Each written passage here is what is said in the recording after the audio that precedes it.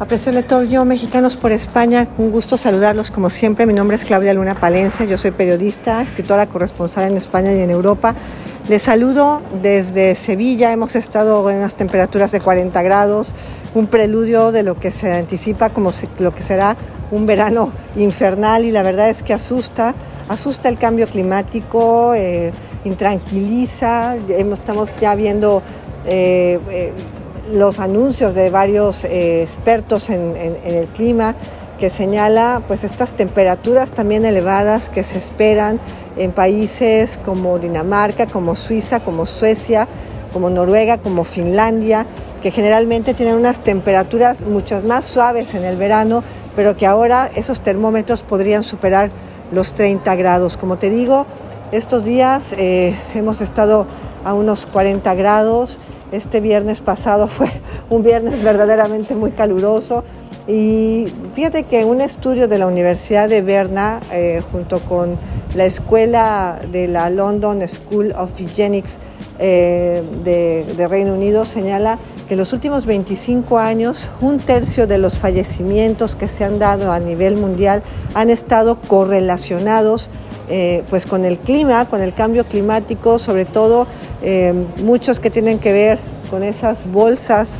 esas bolsas, esas olas de calor ¿no? que provocan, al menos en España, en promedio anual, unos 700 eh, fallecimientos por golpes de calor, lo que pues nos debe de hacer llevarnos a reflexionar, porque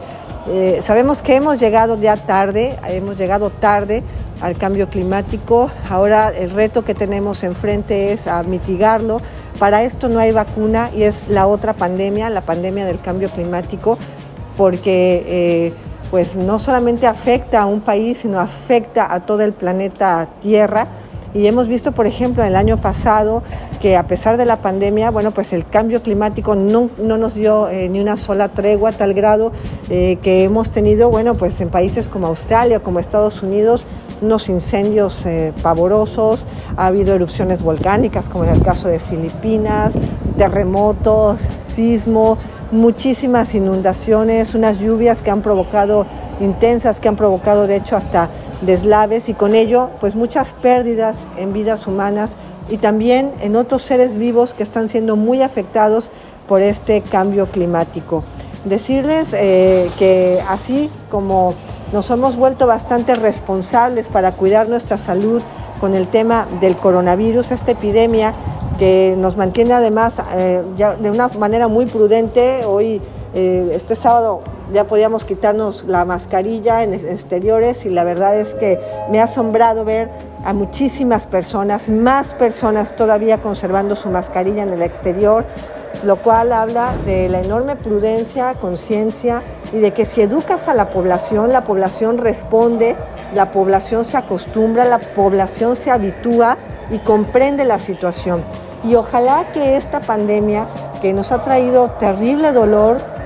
el tema del coronavirus, pues también nos pueda ayudar a educarnos, a cambiar nuestros hábitos, porque lo podemos hacer para tratar de salvarnos a nosotros mismos ante la magnitud de la otra pandemia, la del cambio climático que nos amenaza, que nos atenaza y que está ahí, y ante la cual no tenemos una vacuna y lo único que podemos hacer es cambiar nuestros hábitos para mitigar sus efectos. Hasta aquí mi comentario.